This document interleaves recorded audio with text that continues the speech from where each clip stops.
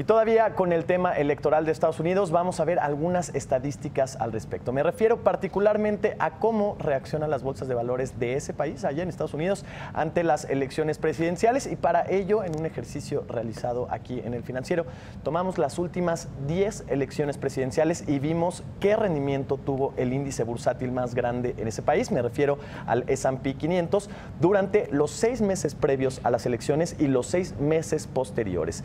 En este gráfico que vamos a ver ahora en pantalla, podemos ver eh, del 76 al 92, cinco elecciones eh, y vemos la, columna de la izquierda seis meses antes, la columna de la derecha seis meses después.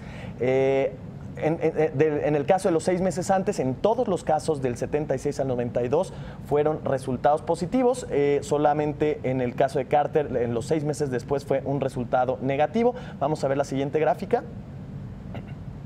Y ahí eh, vemos ya un poco más de variaciones en donde Clinton, después de, ser electo, hubo un fuerte repunte allá en el 96 y también después de eh, segundo mandato de Obama en 2012, eh, la bolsa de Estados Unidos tuvo un fuerte repunte, 42%. En los dos periodos presidenciales anteriores también 20.9 y 21.4% en los seis meses después. Pero obviamente tendríamos que ver cuáles son los resultados por elecciones en donde un republicano sale electo y las elecciones en donde un demócrata sale eh, electo. Y vemos es un resultado interesante porque en los seis meses antes pareciera que los inversionistas toman una posición más cautelosa ante un posible escenario de un, presidente demócrata. Sin embargo, una vez que es electo el presidente demócrata, es, eh, digamos, hay un voto de confianza en los inversionistas y tienen